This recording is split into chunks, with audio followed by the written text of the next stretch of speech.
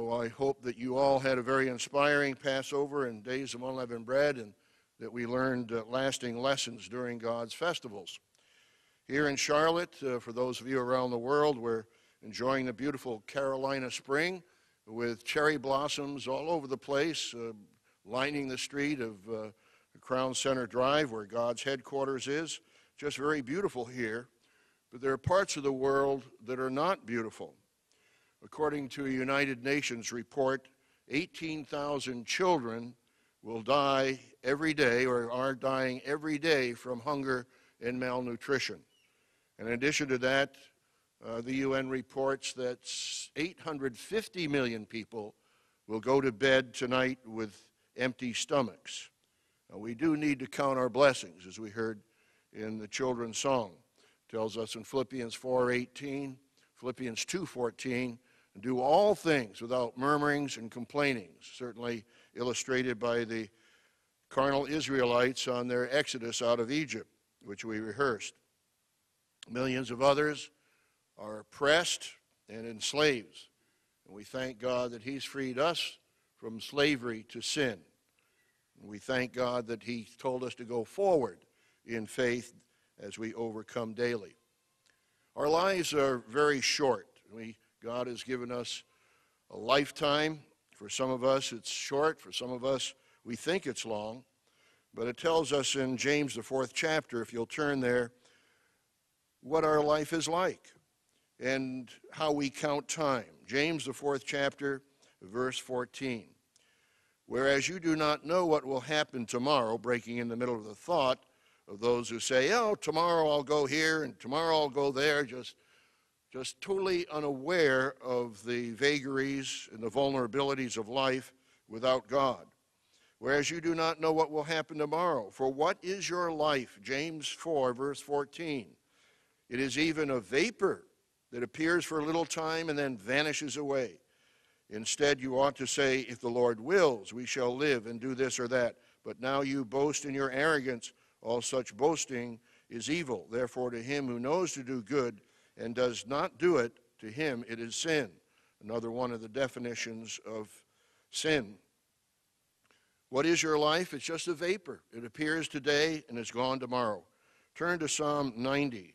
Again, another comment, very insightful comment on our approach and philosophy and approach to life. Psalm 90, starting with verse 10. The days of our lives are 70 years. And of course, many of us live longer than that. We have church members that are 99, and Mayola Wilson up in uh, Bluefield, uh, West Virginia, uh, will be 100 on uh, May 6th, I believe it is. The days of our lives are 70 years, and by reason of strength, they are 80 years. And if by reason of strength they are 80 years, yet their boast is only labor and sorrow for it is soon cut off and we fly away. Who knows the power of your anger? For as the fear of you, so is your wrath. Verse 12, instruction for us. So teach us to number our days, that we may gain a heart of wisdom. We need to number our days. Perhaps you've asked yourself the same question. You've asked your question about your life. What are my goals in life? What, after I've lived a full life, what do I want as a summary of my life? What will I have accomplished? Or what will have God accomplished th- through me? What if you were told you had only six months to live? Several of our church members have had to face that question when told they were dying of cancer or other causes. Their last thoughts have typically been, and one was just telling my wife this morning, my life is in God's hands. Is that your commitment? Is that your faith? And of course, we know in Hebrews 11 13 that these all died in faith, not having received the promises. So those who have died in the faith are in God's hands, and we look forward to the resurrection. But what about your life? Is your life even right now in God's hands? Think about that question throughout the sermon. I want to briefly tell you the story about United States Air Flight number 1549. Let me just ask you, how many of you have ever flown either from Charlotte to New York or New York to Charlotte? How many have flown and taken that flight? Okay, it's hard to see your hands, but it does look about like about 42% of you have taken that flight. U.S. Flight 1549 was going from LaGuardia Airport to the Charlotte International Airport. I saw a video earlier this year titled Brace for Impact that visualized or that summarized that flight. It was on the Discovery Channel. It was on January 15, 2009, that flight, U.S. Air Flight number 1549 was scheduled to fly from LaGuardia Airport, New York, to the Charlotte Douglas International Airport. Some of you know the story that just three minutes into that flight, the airplane hit a flock of Canadian geese, and both engines became powerless. The air traffic controllers tried to guide the pilot across, this was flying over the Hudson River, tried to guide the pilot to land in New Jersey, but he didn't have enough elevation, didn't have enough uh, time to do that, so he had to try to ditch or land in the Hudson River. In the Discovery Channel television program, Captain Sullenberger, also called Sully, and has also been acclaimed as a hero for his part in saving 150 passengers in that flight. In that video, he retraced the flight. So you're in the cockpit with him as he retraces that for the documentary. And he described moment by moment his attempt to land the plane in the Hudson River. He commented that the plane, the, the wings of the plane had to be exactly level because if one just dipped into the water, the airplane would catapult and break apart and everyone would be killed. The title of the video was called Brace for Impact. And he told everyone, brace for impact just as they were about to hit the water. It was very moving to me to see some of the passengers interviewed. Uh, one man said, I was going to die. I know in 90 seconds I'm going to die. That was his thought. And another woman said she knew that she had just two minutes of life remaining. And she said, she prayed to God, God, forgive all my sins. I don't have time to confess them all. Please take care of my family. Well, what would be your thoughts if you had two minutes to live, six months to live? Would you think of your brethren here in Charlotte, your church family? Most passengers were thinking they were going to die. Captain Chesley B. Sullenberger brought the plane down on the Hudson River. And the air temperature was 20 degrees. The water was the, the water temperature was about 35 degrees, and the passengers had to evacuate onto rubber life rafts, and some of them had to stand, as you remember that classic picture, standing on the wings and as the plane began to sink, they were standing in freezing water, and yet they had to stand there for minutes. But all 150 passengers were rescued as boats came around, and the event was later called Miracle on the Hudson. If you do a, an online search for Brace for Impact, uh, you can see a short excerpts from that video. To me, it was very emotionally uh, moving to see these people in emotionally themselves, recounting their last thoughts before impact. But they were saved, they didn't die. The Passover and the days of unleavened bread challenged us to think more deeply about our lives. And I hope we thought more about our mission as a church, our relationship with our Father in heaven, and with our Savior, Jesus Christ. The point I want to emphasize in the sermon today, brethren, is that God has called us to be members of his family, his divine family, to be active Philadelphian members, that we are seeking the kingdom of God above all else, and we're preaching the gospel of the kingdom as a witness to the world, and feeding the flock, and warning the Israelite nations of the coming great tribulation. Are we fulfilling the purpose of our calling? Are we fulfilling the purpose of our lives? Are we truly committed to live God's way of life? Did we count the cost at baptism? Now, we read this several times during the Passover season, but let's turn back to 1 Corinthians 5, verse 6. 1 Corinthians 5, verse 6, because the principle is that of our part in God's plan of salvation. The world just thinks, well, accept Jesus, his sacrifice, all your sins are forgiven, and you're saved. That's all. There's nothing else you need to do. But it tells us here in verse 7 of 1 Corinthians 5 Purge out the old leaven that you may be a new lump, since you are truly unleavened. That is, they were unleavened physically, not spiritually, because they had the immorality, the puffed, they were puffed up even with that immorality, as it mentions in verse 2. For indeed, Christ our Passover is sacrificed for us. Yes, there is a New Testament Passover. Therefore, let us keep the feast, a New Testament command, to a Gentile church, not with old leaven, nor with the leaven of malice and wickedness, and malice and wickedness symbolic of our human nature, that self deception we heard about in the sermonette, but the, with the unleavened bread of sincerity and truth. The profound principle for the days of unleavened bread shows the next step in God's plan of salvation of coming out of sin, getting Egypt or sin out of our lives, and to become overcomers. And the world doesn't know that. It doesn't even apply the second step in God's plan of salvation. We have a calling to replace human nature with divine nature. It means that we must grow in the grace and knowledge of Christ, 2 Peter 3, verse 18. That we must be overcomers. How can we overcome? Well, we know that we partake of the bread, unleavened bread, during the days of unleavened bread. We thought of the unleavened bread of life, that is Jesus Christ, when he said, This is my body broken for you. And he's also the bread from heaven, the living bread from heaven. But that body was broken for our emotional and physical healing. Let's turn to 1 Corinthians 10, scripture that some of us read during the Passover itself. 1 Corinthians, the 10th chapter, verse 16. The cup of blessing which we bless, is it not the communion of the blood of Christ? So we all partook of wine during the Passover.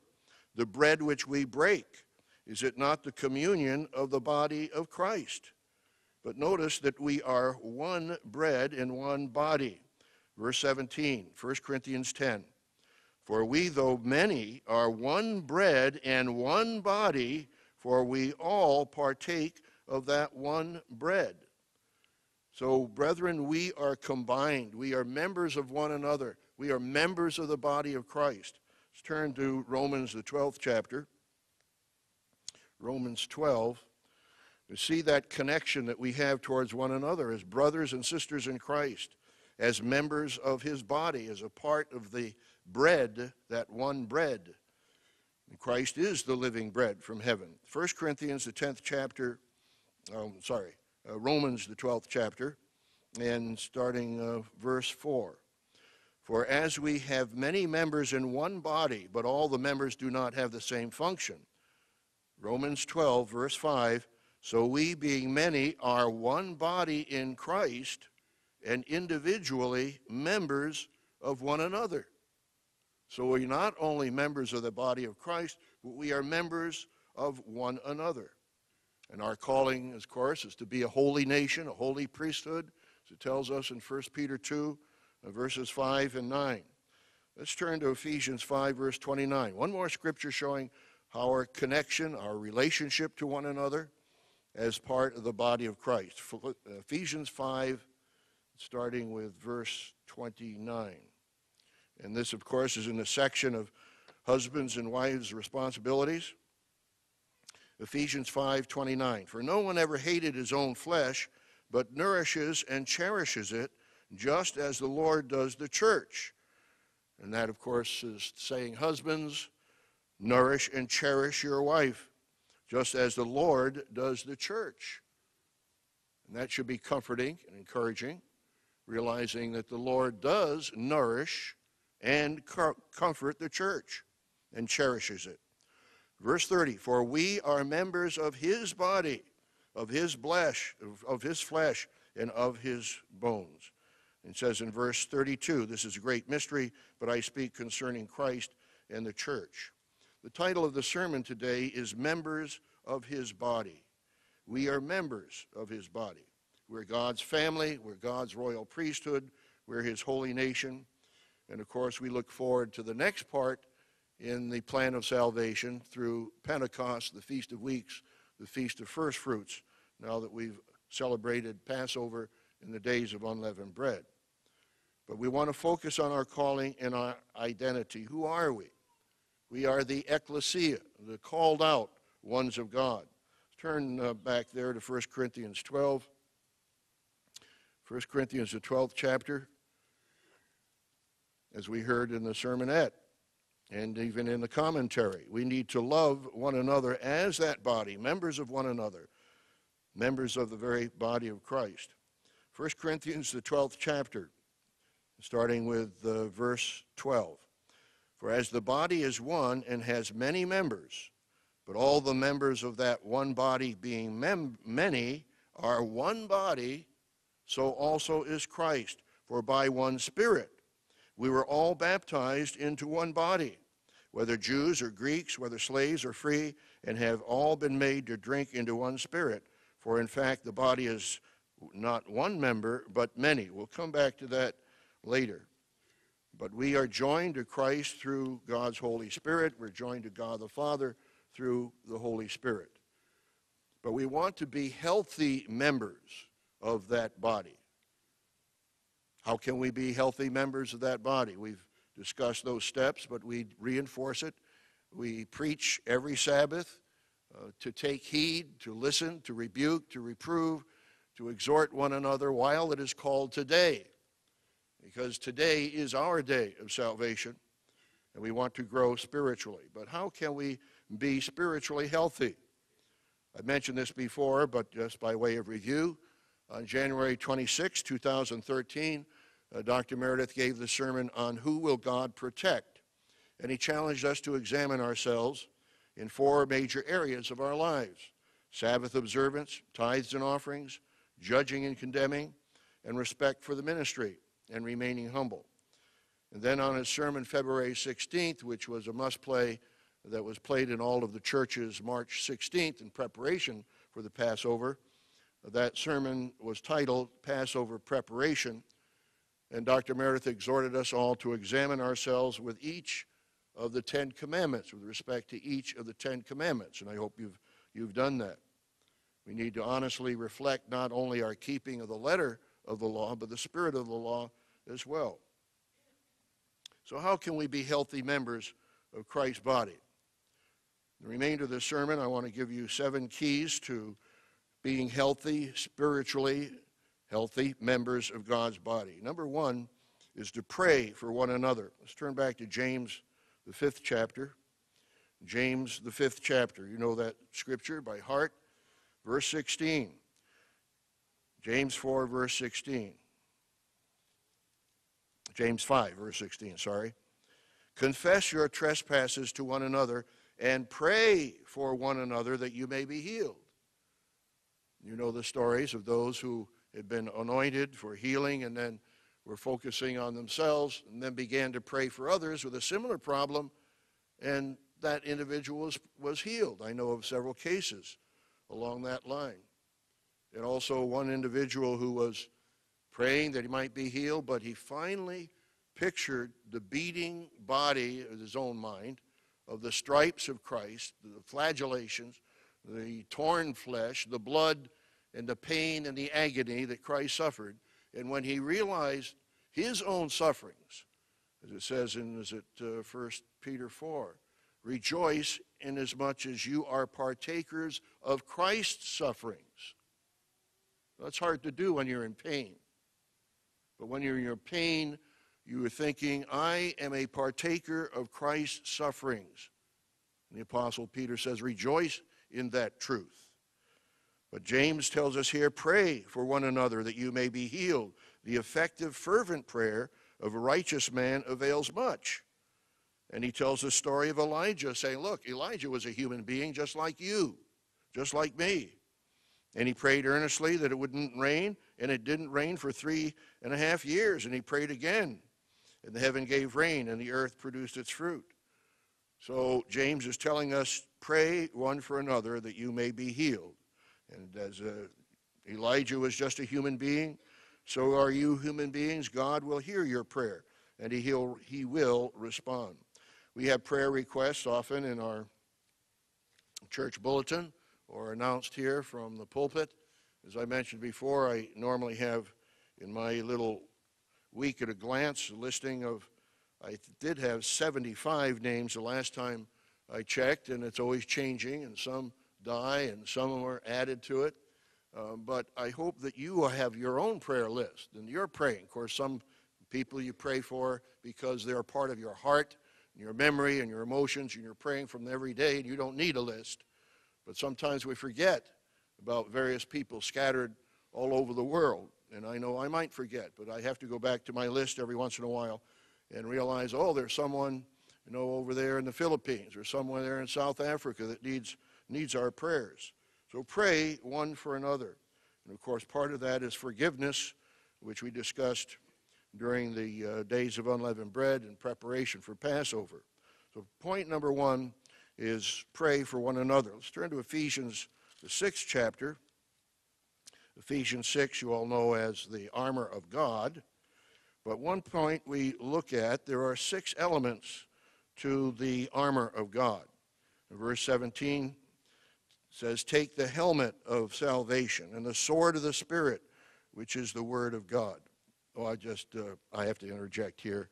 Uh, while we were there in, in Houston, we uh, went to visit some antebellum homes, some historic homes, and one of the places had a, uh, uh, a shop with uh, swords and guns. And this man was an antique uh, collector. And he said, They were the swords made by Ames. Oh, really? It was Ames Sword Company. So I think of this the sword of the Spirit, which is the Word of God. The, the, the sword of the Spirit is God's Word, which is more important. By the way, uh, Ames also made plows, not just swords. and that's in Massachusetts, by the way. And take the helmet of salvation and the sword of the Spirit. In verse 18, praying always with all prayer and supplications in the Spirit, being watchful to this end with all perseverance and supplication for all the saints. So we have six elements of the armor, but then he says, Go on and pray with perseverance for all the saints. Pray for one another. That transitions into point number two pray for the ministry.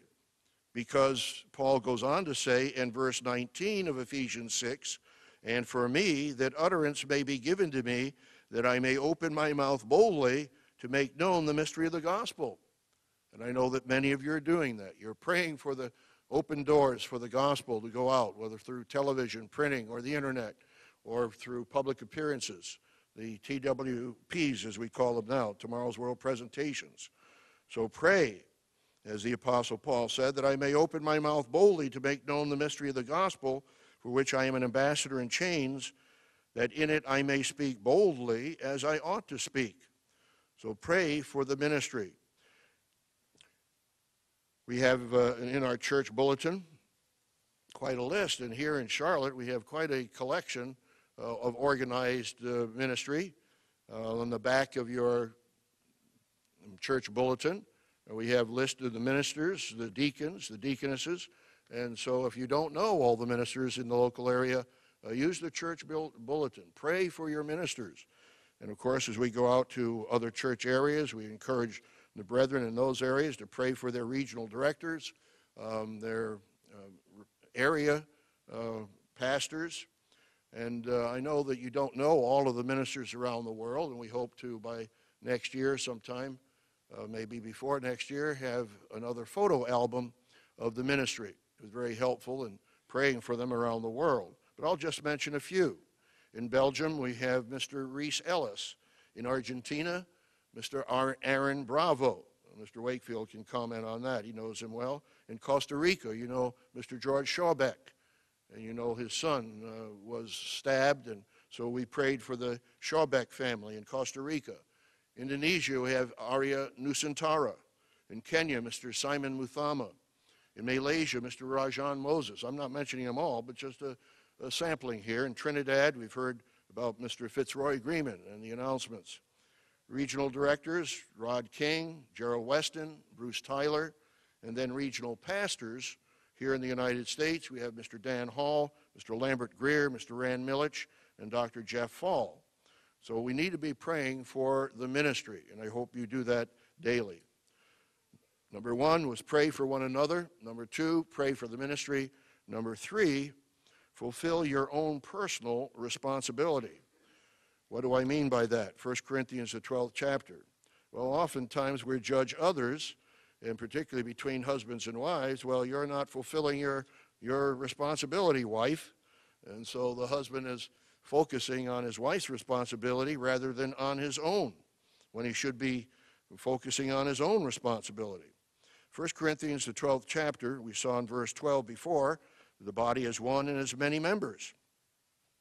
But all, that, all the members of that one body being many are one body, so all is Christ. Verse 15 If the foot should say, Because I am not a hand, I am not of the body, is it therefore not of the body? And if the ear should say, Because I am not an eye, I am not of the body, is it therefore not of the body? We shouldn't be comparing ourselves among ourselves. Of course, Christ warns us not to do that. If the whole body were an eye, verse 17, where would be the hearing? If the whole were hearing, where would be the smelling? But now, verse 18 is uh, difficult for people who have the sin of self ambition, selfish ambition. They won't take the responsibilities at hand that they know they should fulfill. They get too selfish in their ambition. We've had ministers who were disappointed because uh, one man and three continents away wasn't appointed a replacement of the regional director and left the church. You, know, you just have to shake your head. What was this man's thinking? But now God has set the members, each one of them, in the body just as He pleased. And even John the Baptist said, I must decrease while He increases. And Dr. Meredith has told you the stories of his exiles and his uh, demotions, as you will, temporarily for a period of time. But you have to trust Christ that He's going to work things out in His way and in His time. Verse 19, if they were all one member, where would the body be? But now indeed there are many members, yet one body. And the eye cannot say to the hand, I have no need of you, nor can the head to the feet, I have no need of you. And I was just thinking during the song service, just looking over at some of our widows and realizing how important, how vital each member of the body is. Whether it's a one year old baby or an 89 year old widow, everyone is important in the body of Christ. Verse 22 No, much rather those members of the body which seem to be weaker are necessary. And you remember the story of Anna the prophetess in Luke, the second chapter. She's up in her widow of 80 years, and what did she do? She served God. How? With prayers and fastings. She was an important part of the preparation of that coming out of Christ when he came to the temple as a baby. So everyone is important. Those members of the body which we think to be less honorable, verse 23, on these we bestow greater honor. But our presentable parts, verse 24, have no need, but God composed the body, having greater honor to that part which it lacks. So are you an ear, or are you an eye? I had the privilege of knowing my grandfather, William Ames. He was an inventor. He was uh, worked with machinery. And in fact, I, as I recall, he had the ends of four fingers cut off, two on each hand, because he was working with machinery and he was a, an inventor. But he still was able to work with those hands. When you think about the marvelous design that, of the human hand, what it can do, that it uh, builds great skyscrapers, of course, using tools to do so, but uh, performing musical instruments, pianos and trumpets and harps and violins to produce soul inspiring music. But the hand can do nothing apart from the body. Its life is supported by the circulatory system and by the nervous system and by the commands of the, the brain and the mind. But each of us is a body of member of the body of Christ. We may be an ear, we may be a, uh, an eye, or we might be an elbow. In the spring of 1963, the Ambassador Chorale performed Gilbert and Sullivan's comic opera, The Mikado. That was in the San Gabriel Auditorium. I played the part of Pooh Bah. Hey, Pooh Bah was the first Lord of the Treasury, Lord Chief Justice, Commander in Chief, Lord High Admiral, Archbishop of Titipu, and Lord Mayor, and Lord High everything else. And he was going to be executed, but uh, uh, was going to intercede for him. And I remember my only line I remember in that was when I'm, I'm pleading with the Mikado, the great dictator for my life, I just said, Mercy for Bah, mercy for Bah. That really translated into many times in my life when I've asked God for mercy to come boldly before his throne of grace that we may obtain mercy and grace to help in time of need. And he says to come boldly to do that. Well, I'll just share part of that with you. Katisha was not the most beautiful woman. She says, You hold that I am not beautiful because my face is plain, but you know nothing. You are still unlightened, she says to me. Learn then that it is not the face alone that is beauty is to be sought. My face is unattractive. And I say, It is. I agree with her. And Katisha says, But I have a left shoulder blade that is a miracle of loveliness. People come miles to see it. My right elbow has a fascination that few can resist. In fact, people come miles to see that on view Tuesdays and Fridays on presentation of a visiting card.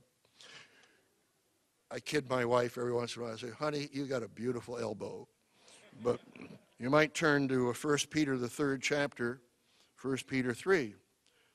And I think all of us know of beautiful women in the church, beautiful character. And I know one lady that I've talked about over the years who had 11 children and had teeth missing, and yet she had beauty on the inward part, as it says in 1 Peter, the third chapter, and uh, verse 1 Wives, likewise, be submissive to your own husbands, that even if some do not obey the word, they without a word may be won by the conduct of their wives, when they observe your chaste conduct accompanied by fear. Do not let your adornment be merely outward arranging the hair, wearing gold, or putting on fine apparel, well, obviously you must put on apparel. Rather, the emphasis must be on the hidden person of the heart, verse 4, with the incorruptible beauty of a gentle and quiet spirit, which is very precious in the sight of God. And so, how many times have I seen women who are not so beautiful on the outside, but had that beautiful character on the inside? And that's what God is doing. He's creating that masterpiece of His creation, beautiful, righteous character. But we're talking about fulfilling our own personal responsibilities. Turn back to Ephesians, the fifth chapter. I, when we're driving in the car, I kind of, my wife reads to me in the Bible, and every once in a while I'll ask her a question and I give her a test scripture, and I say, "Well, honey, uh, what does Ephesians 5:22 say?" Well, she got it right. Wives, submit to your own husbands, the Lord. so, anyway, we have some fun in the card. But he goes on to say in verse 25, Ephesians 5, Husbands, love your wives, even as Christ also loved the church and gave himself for it. This is not a suggestion. And as we review in some cases, Dr. Winnail, Mr. League, and myself, under Dr. Meredith's direction, review divorce and remarriage cases to see where someone might be biblically bound or not bound because of fraud or porneia. And we find time and time again the man might say, I don't love you. What do you mean you don't love her? It's a command, it's not a suggestion. You may not have certain kind of likability, personality, affection, but God gives us a command Husbands, love your wives. There's no other option. If you're converted, if you say, I, I, can't, I can't love my wife, you're not converted. Because God says, for, I'll give you the example there in first, uh, was it John 15, uh, where he says, I give you a command to love one another as I have loved you. It's not a suggestion, it's a command. And so, if we are going to be members of the body of Christ, we need to fulfill our own personal responsibility. In years past, we had husbands that were so aggressive and even so harsh because they wanted to make sure that his, his wife or their wives were fulfilling their responsibility, and he himself was not fulfilling his own responsibility. So I have to look at myself and say, what are my husbandly responsibilities before God? I can spend all my time trying to make my wife fulfill her responsibilities and still lose my salvation because I'm disobeying Christ. We all must fulfill our own personal responsibilities as members of Christ's body. And I might just mention that uh, the May June Living Church News, I think uh, we just got ours in the mail the other day. Um, the uh, editorial is here by Dr. Roderick Meredith What Every Husband Needs to Know. So I hope you, all of you husbands will read that article. I've been preaching that. That helped me from the first time it came out in 1966 and uh, till now, uh, 47 years ago. I've been striving to live by those principles. What all husbands need to know love and respect, support and encouragement, help and protection, leadership and guidance, inspiration to grow. Those five areas I pray about frequently that I can fulfill as a husband towards my wife. So make sure you read that, that article, May, June 2013 LCN, uh, what every husband should know. But now let's turn to Titus in case the women uh, think that uh, they don't need to love their husbands. I know, in fact, uh, uh, one counseling with a couple that uh, Ambassador College, uh, that was around the liberal years, uh, 74, and uh, the, the girl said, I didn't want to, she read the uh, wedding ceremony and said, you know, to submit to your husband. Well, I don't want that in the wedding ceremony. And where does it say anyway in the Bible that women have to love their husbands? Well, it says so right here.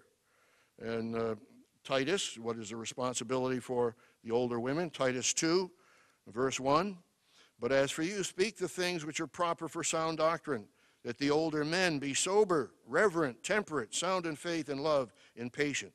The older women likewise, that they be reverent in behavior, not slanderers, not given to much wine, teachers of good things, that they admonish the young women to love their husbands, to love their children and also to be discreet, chaste, homemakers, good, obedient to their own husbands. Oh, obedient to their own husbands, that the word of God may not be blasphemed.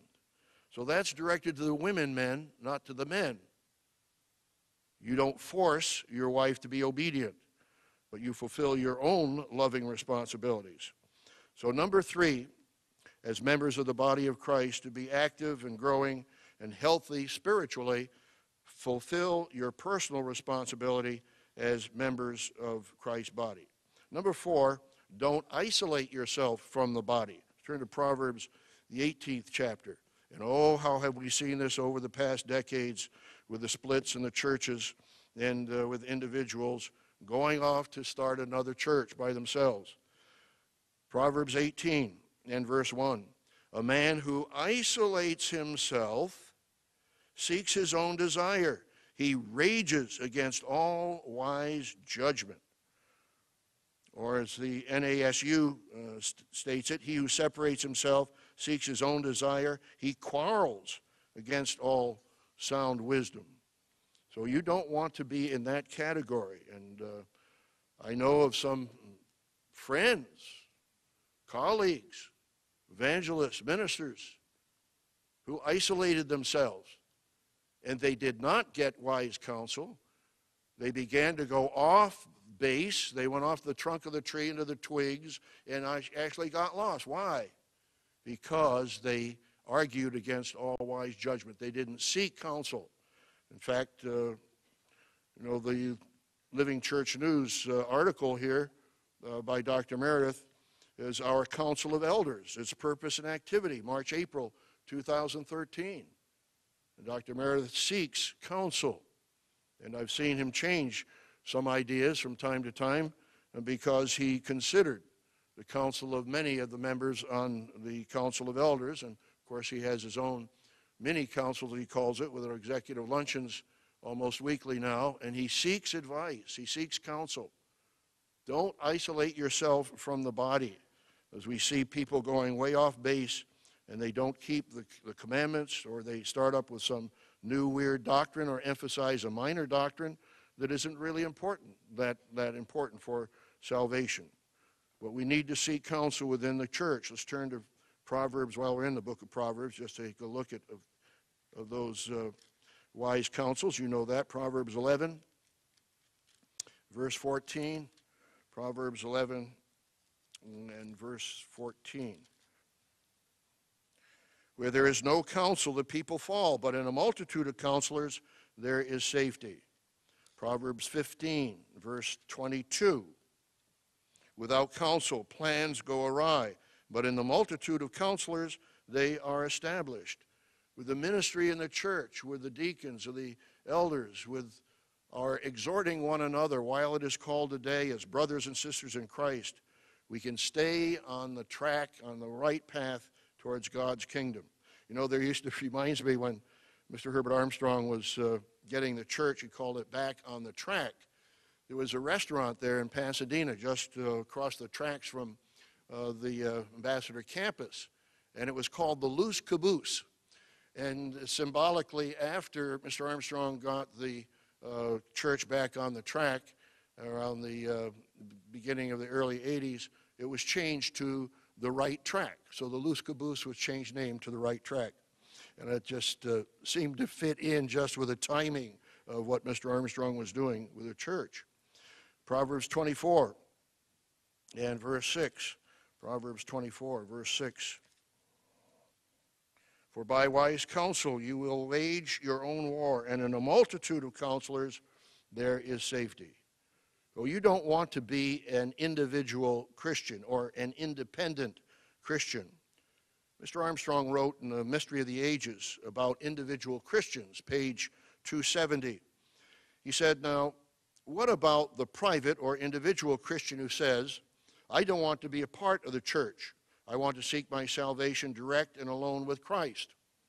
The answer is this God Himself laid out the plan and the method by which humans may be, after begettal, trained and prepared to become part of the divine personnel of born God beings that shall form the kingdom of God.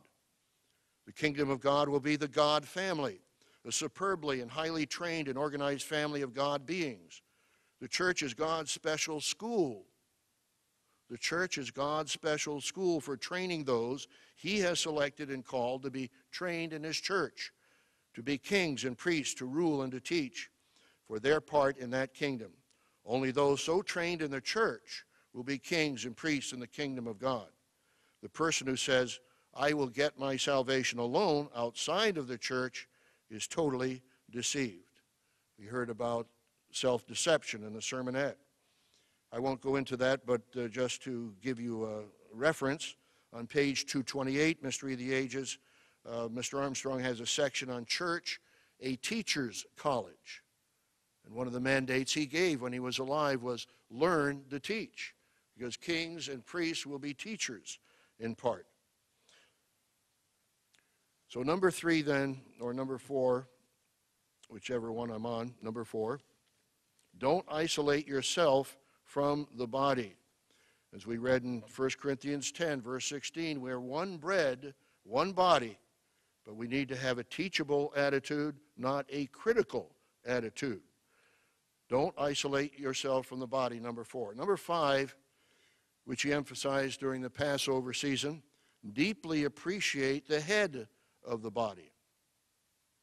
We read that, so you don't need to turn it already, but Ephesians 5 25 Husbands, love your wives just as Christ also loved the church and gave himself for her. We should have meditated on that before the Passover and realized just the sufferings, the dedication, the sacrifice that Christ gave. And even in Galatians 2:20 where the apostle Paul says, "The life which I now live in the flesh, I live by the faith of the Son of God who loved me and gave himself for me."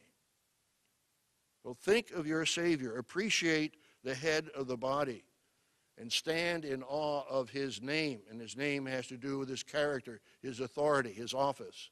So turn to Philippians 2 and verse 9. Philippians 2 and verse 9. No, we need to reverence and stand in fear, godly fear, of the authority and the name of Christ. Philippians 2, verse 9. He gives the background, how he humbled himself even to the point of death, even the death of the cross. Philippians 2, verse 8. Then verse 9. Therefore, God also has highly exalted him and given him the name which is above every name, that at the name of Jesus every knee should bow. And if you're not praying on your knees, of course, some of you may have arthritis, and we know of those exceptions, but every knee should bow of those in heaven and of those on earth and of those under the earth, and that every tongue should confess that Jesus Christ is Lord. That means master, owner, boss. That Jesus Christ is Lord to the glory of God the Father. So stand in awe of his name. And you know Acts 4:12. There's no other name under heaven among men by which we must be saved. That is the only name. Of course, the world has misused that name and comes up with false Christs. That's why Dr. Meredith wrote that one of our missions is to feed the church of God and to teach the true name of Jesus, because there are those who misuse that name. But as we read during the Passover, John 14, John 16, well, John 15, and John 16, three times, and Jesus said, Whatever you ask in my name, I will do it, or the Father will do it. So you have the authority to come boldly before the throne of God. You know, when he died, the, the uh, veil of the temple was rent in two, giving us access to the very holy of holies, the very throne of God. And we can come boldly, should come boldly before the throne of God. As I mentioned, that's James 4, verse 16 that we may obtain mercy and grace to help in time of need. I won't turn there, but Proverbs 18:10, one of my favorite scriptures among hundreds of favorite scriptures. The name of the Lord is a strong tower. The righteous run to it and are safe.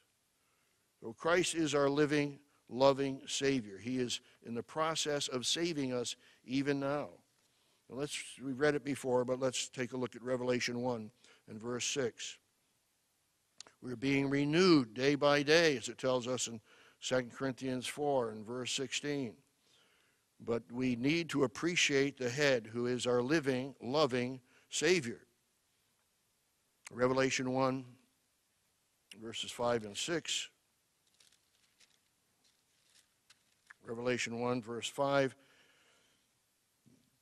Well, we might start with verse 4 Grace to you and peace from him who is, and who was, and who is to come, and from the seven spirits who are before his throne, and from Jesus Christ, the faithful witness, the firstborn from the dead. That's how we're born into God's kingdom.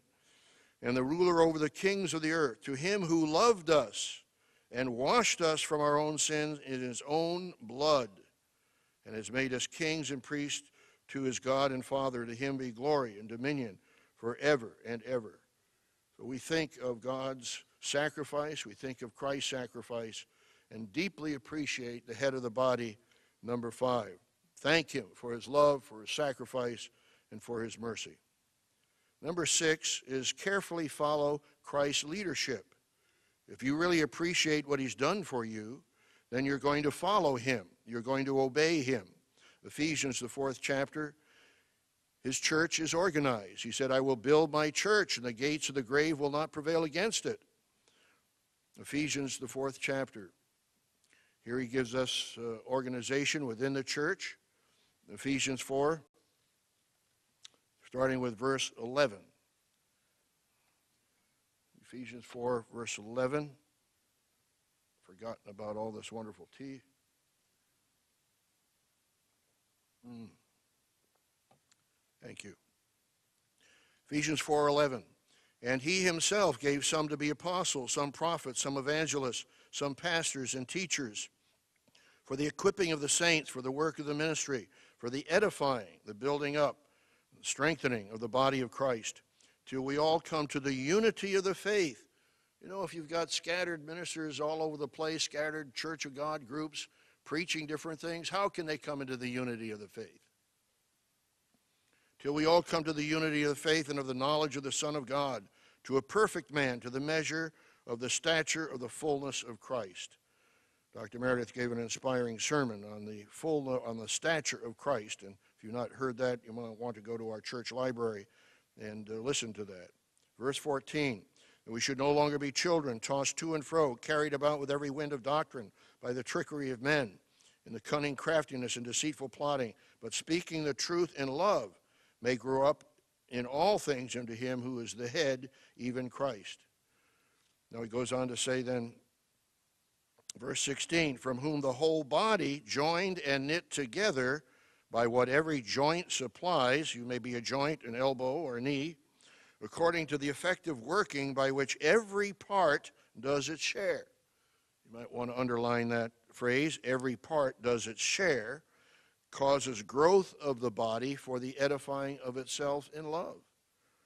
So we are joined and knit together by what every joint supplies. We work together as a body, as a team. We follow the head, we follow the leader, because we have a mission. And the church is busy with that mission. You've heard the fruits of the mission during 2012, in which we had 360 individuals were baptized in 2012. And we have a new French Tomorrow's World magazine and a Spanish Tomorrow's World magazine. We had 4,500 visitors during the Tomorrow's World presentations last year in 18 different countries. Just amazing. Uh, you heard them before, but I'll mention them again.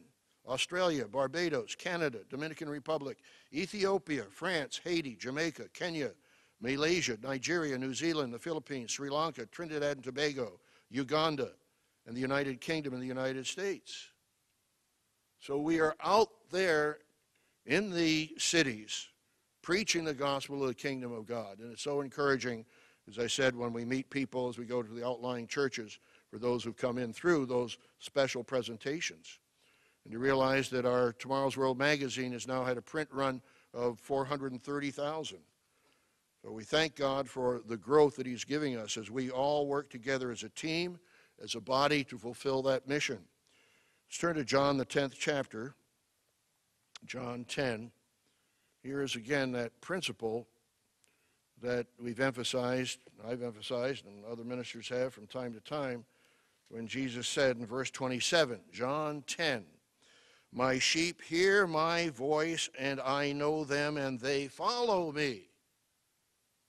We have people who are not following Christ. They're self appointed critics, and they're not really following Christ. How do we follow? The voice of Christ? Well, we follow his ministry and his organization, as the Apostle Paul said in 1 Corinthians 11:10.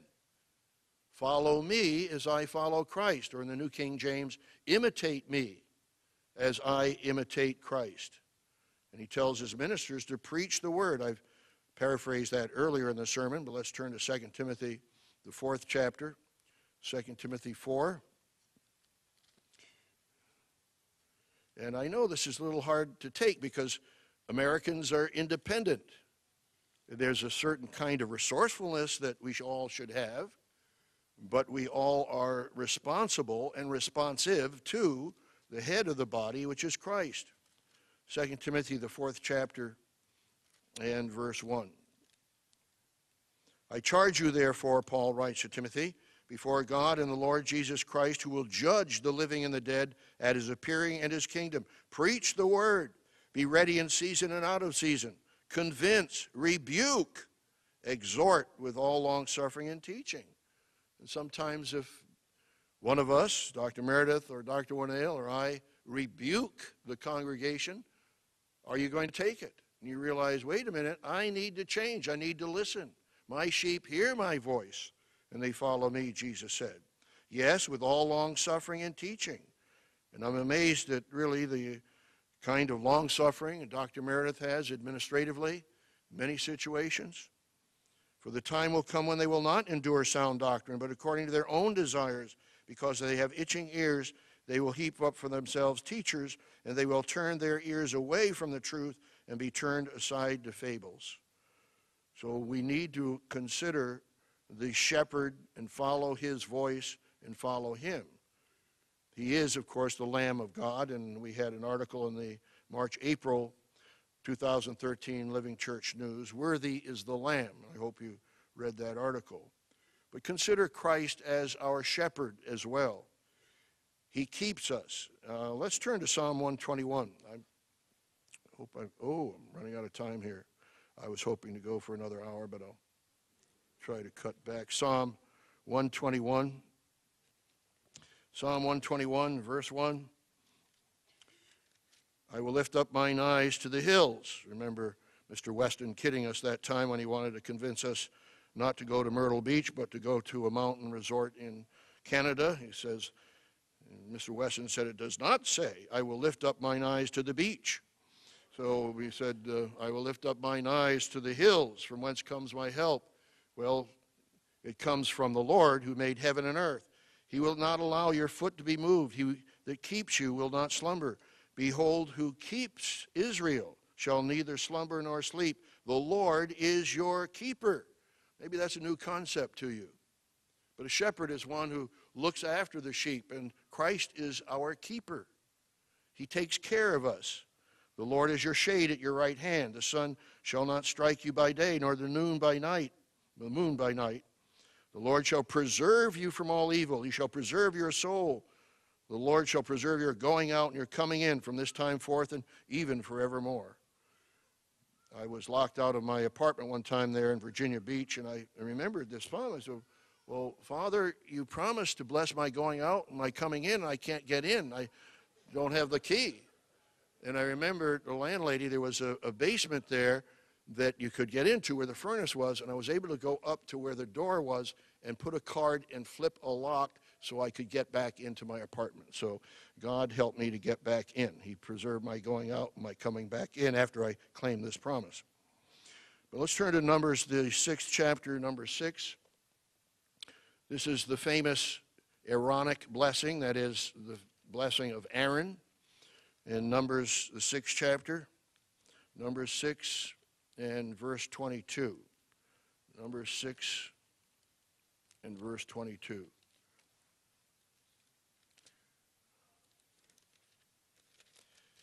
The Lord bless you and keep you. Yes, the Lord is your keeper. We just read in Psalm 121, verse 5.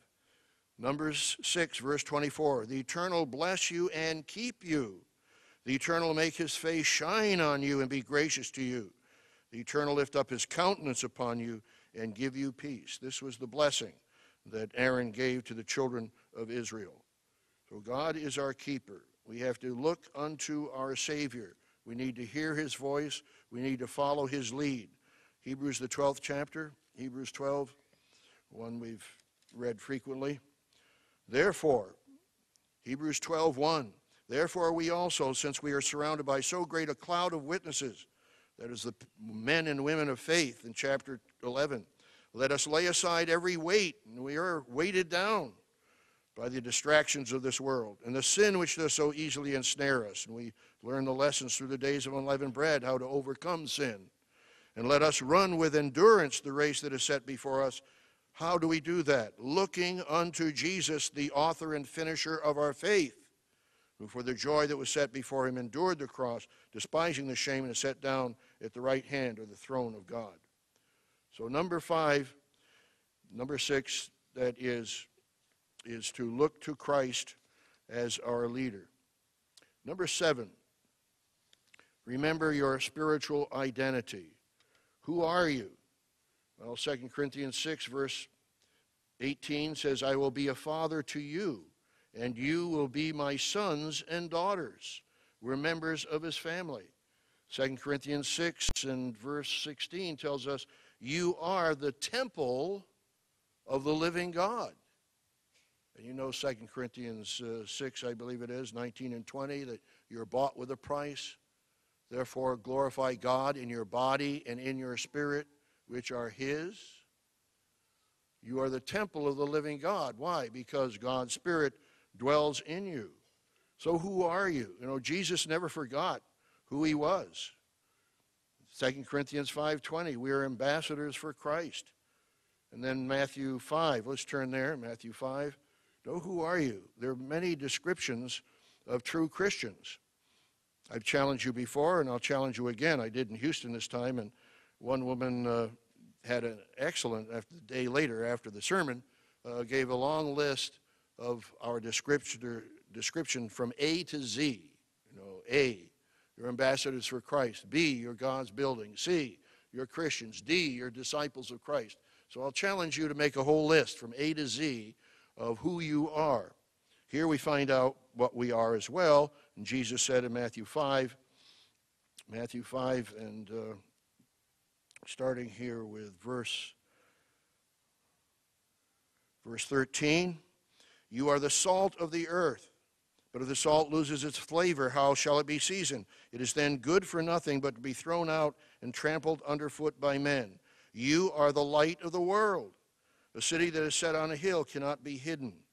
So let your, verse 16, let your light so shine before men that they may see your good works and glorify your Father who is in heaven. So, how bright is your light?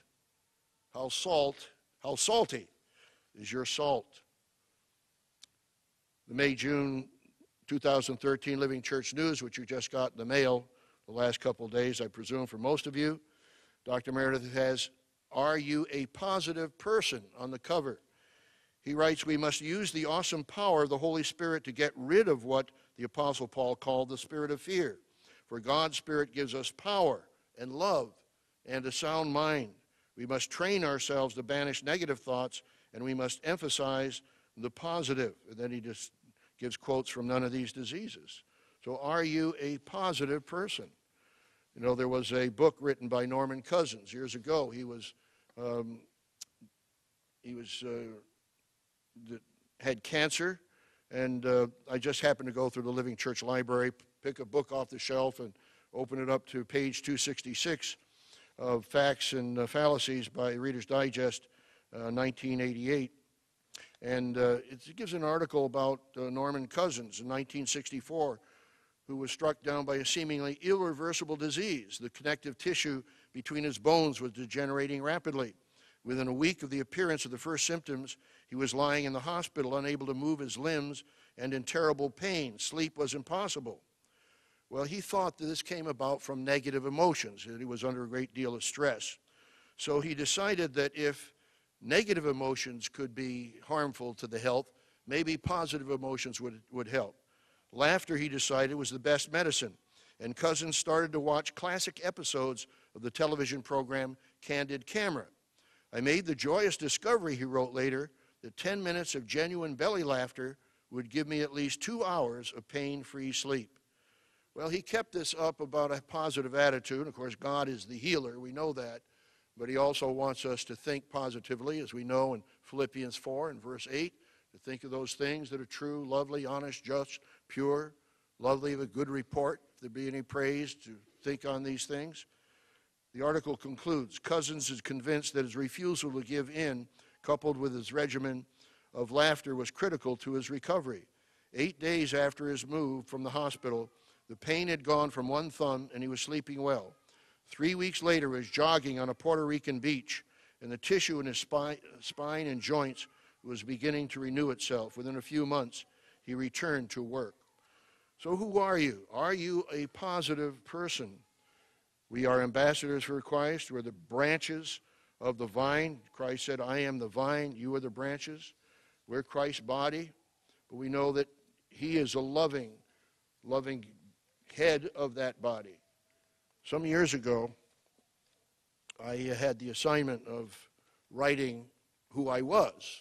In fact, it was a Good News Magazine article some years ago that suggested we examine ourselves and write an, a, an essay entitled What I Am. I've shared with this, this with you before, and I'll share a little of it. This was back, uh, oh, about 25 years ago, an essay I wrote, What I Am. So I'm sharing something personal here. I am God's begotten Son and servant and younger brother of our Lord Jesus Christ. There are no other gods in the universe who are the kingdom of God, the family of God. Uh, skip that paragraph.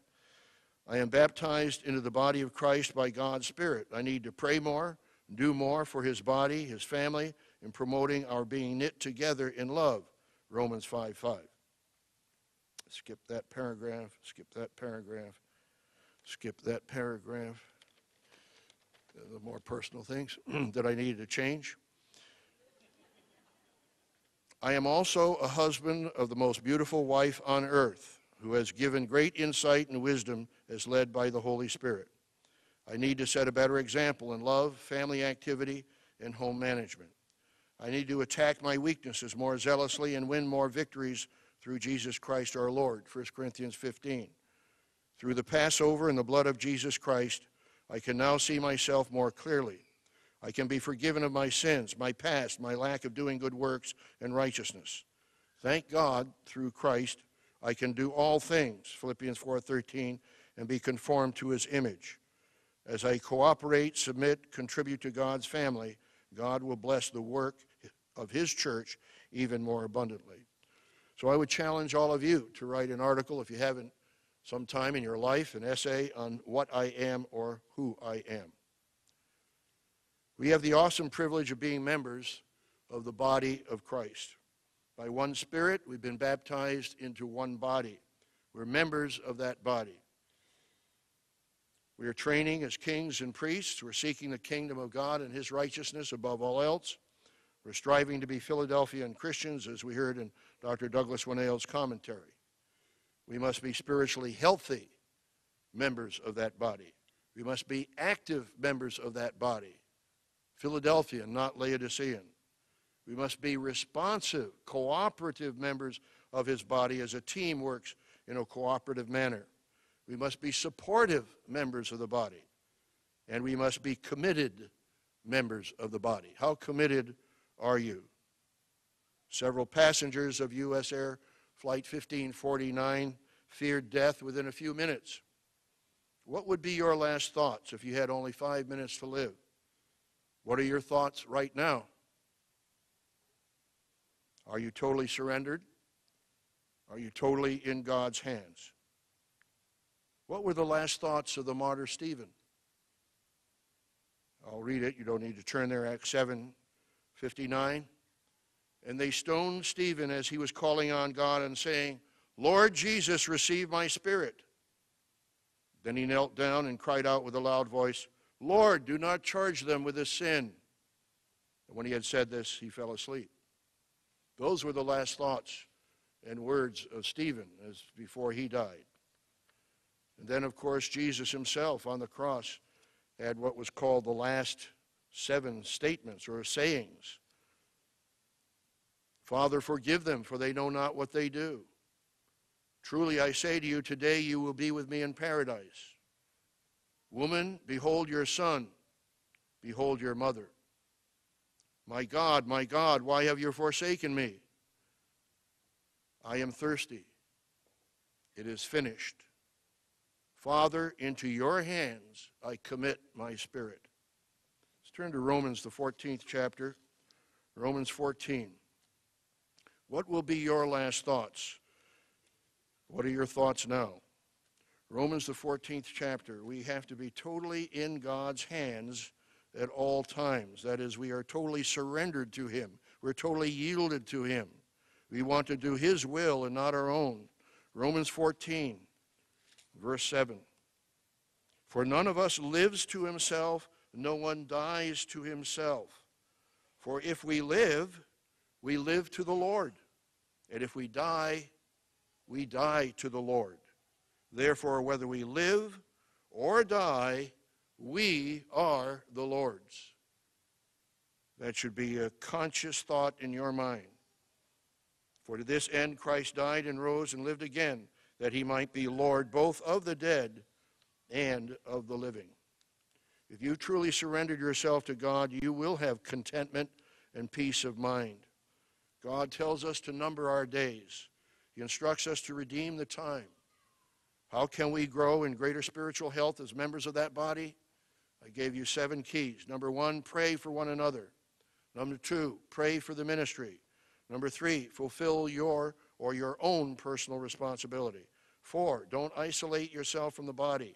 Five, appreciate the head of the body. Six, carefully follow Christ's leadership. And number seven, remember your own spiritual identity.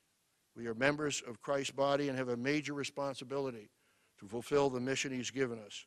As we read in Ephesians 5, verse 30, we are members of his body. So, brethren, let's care for one another. We are brothers and sisters in Christ.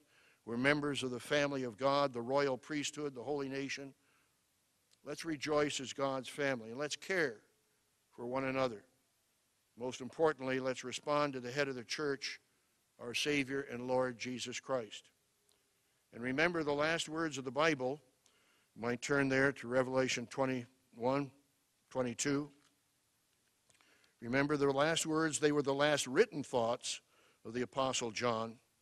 What were they? The Revelator, Jesus Christ, proclaims in Revelation 22, verse 20, Surely I am coming quickly. The Apostle John's last written thoughts and words, Revelation 22, verse 20. Amen. Even so, come, Lord Jesus. The grace of our Lord Jesus Christ be with you all. Amen. So, brethren, let's go forward with the love and the knowledge and the grace of Christ. Let's be supportive, active, cooperative, obedient, loving members of his body.